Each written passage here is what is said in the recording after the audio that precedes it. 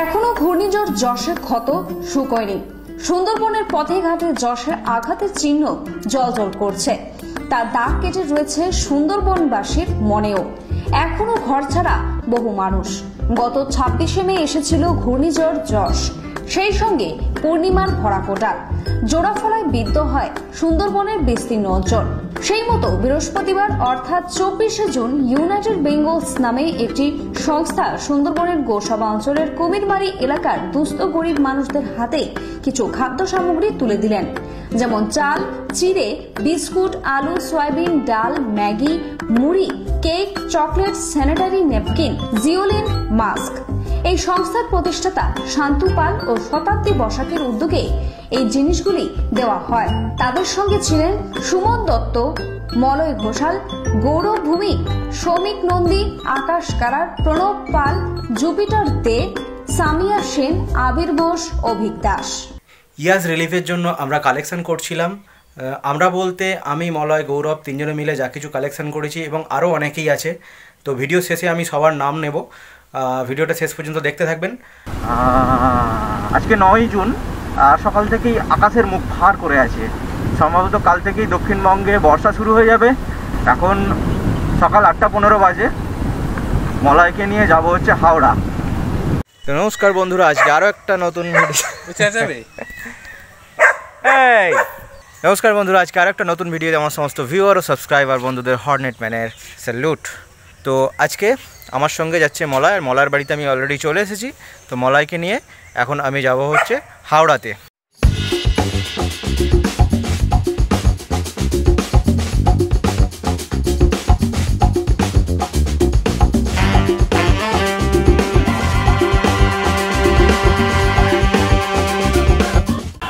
এখানে তো হেলমেট ছাড়াই সব বাইক চালাচ্ছে কোনো ব্যাপার নেই।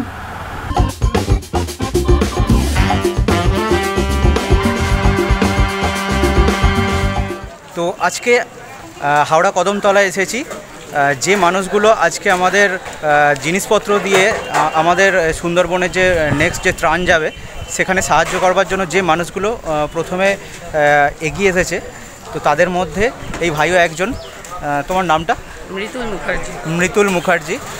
সুযোগ পেলাম একটা তাই বাবা মাও মাই মানে আমার আর আমার মায়েরই উদ্যোগটা ছিল বাবাও বলল করতে অবশ্যই বাবা সাহায্য করবে। তো সবাই মিলে তিনজনে মিলে করলাম। তো আমাদের সঙ্গে থাকার জন্য খুবই ধন্যবাদ।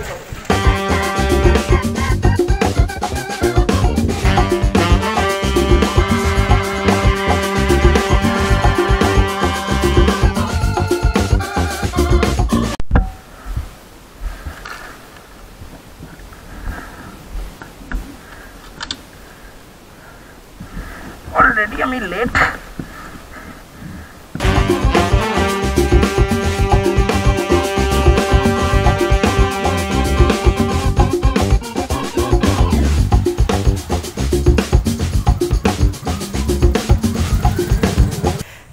একদম যাওয়ার জন্য রেডি হয়ে গেছি। সুতরাং একদম দেরি না করে চটপট করি। অলরেডি আমি পনেরো মিনিট লেট হয়েছি এবং এখানেও মালগুলো প্যাকিং করতে পনেরো মিনিট আরও লেট হয়েছে।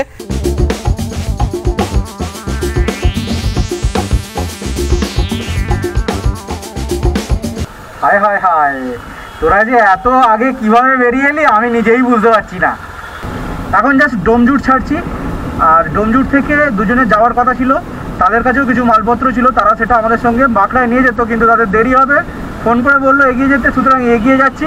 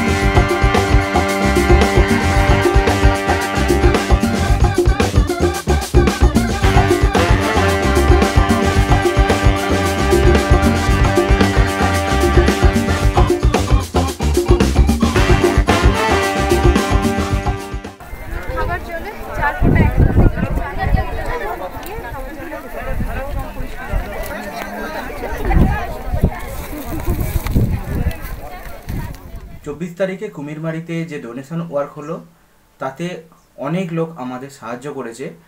ফ্রেজারগঞ্জে যে ডোনেশন ক্যাম্প হয়েছিল সেখানে সকলকে আমরা সাহায্য করতে পারিনি। আমাদের জিনিসপত্র কম পড়ে গেছিল। তো এবারের রিলিফ ওয়ার্কে আপনারা যেভাবে আমাদের সাহায্য করেছেন যেভাবে পাশে থেকেছেন তার জন্য সকলকেই হর্নেট প্যানের স্যালিউট ভিডিওগুলো তো ভিডিওটা শেষ করার আগে আমি কতগুলো নাম বলতে চাই যাদের ছাড়া হয়তো আমি এই ডোনেশনটা তুলতে পারতাম না। তো আমাকে সাহায্য করেছে মলয় এবং গৌরব। আর তার সঙ্গে সঙ্গেও আরও যারা যারা সাহায্য করেছে, তাদের নামগুলো আমি এখানে বলছি। তো প্রথমত যারা টাকা দিয়ে আমাদের সাহায্য করেছে, তাদের নামগুলো আগে বলি। অভিজিৎ পাল, সন্তু হাইত, অভিষেক কাড়ার, কৌস্তব বিশ্বাস, পূজা পাল, সংকেত সিট সুপর্ণ চক্রবর্তী, অভিক ঘোষাল, অরিজিৎ দাস, সন্তু ঘোষাল, ত্রিশিতা দে, সত্যজিৎ মালিক পৃথা ঘোষ মাটি এবং ডক্টর কৌশিক মাটি। টাকা ছাড়াও যারা জিনিসপত্র দিয়ে সাহায্য করেছে, তাদের নামগুলো এবার বলি। তো প্রথমেই আছে পৃথা ঘোষ মাটি এবং ডক্টর কৌশিক মাটি। Kishore Patra Susmita Pal, Kaunis Das, Mridul Mukherjee and family Akash Karar Pranab Pal. এছাড়াও এই রিলিফ ওয়ার্কে আরও অনেকেই প্রত্যক্ষ এবং পরোক্ষভাবে অনেক সাহায্য করেছে। তাদের সকলকেই আমার তরফ থেকে অনেক অনেক ধন্যবাদ।